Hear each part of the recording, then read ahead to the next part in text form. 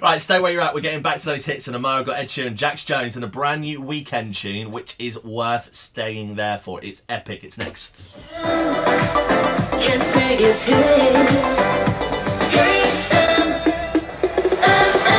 KMFM is the regional FM broadcaster for Kent. KMFM is actually an amal- amalgamation of several smaller independent radio stations that have been brought together.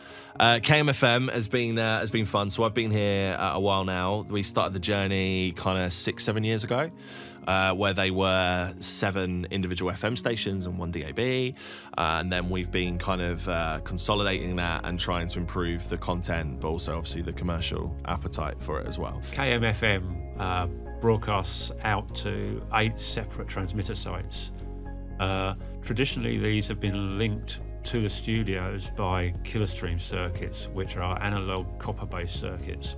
The, the changes were in the telecoms industry rather than the radio industry. BT were withdrawing the support and installation for X21 circuits, which means if anything goes wrong with those circuits, you will not get that fixed. We were put in a position where by the end of March this year, we've had to migrate away from X21 analog circuits into an MPLS digital circuit. Um, a lot of radio stations traditionally might break out into analog um, even before um, the audio actually gets delivered to the transmitter site.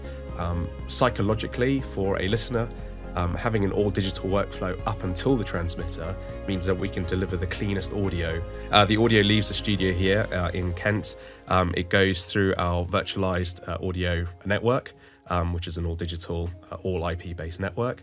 Um, it then gets processed by our virtualized uh, systems here and then gets delivered digitally over the beaming network uh, to each individual transmitter site. We chose beaming a lot. The reason is because uh, they came up with a really solid design for our network, giving us resilience that we need. Obviously, radio station broadcasting 24 7, you need a network that's going to be up for 24 7. You can't have a fibre going down and, and then broadcasting silence. So, beaming came up with a design that gave us uh, solid fibre network backed up by uh, a broadband network. If a fibre breaks, then uh, that's automatically uh, rediverted out through the FTTC network, so you never lose any transmission.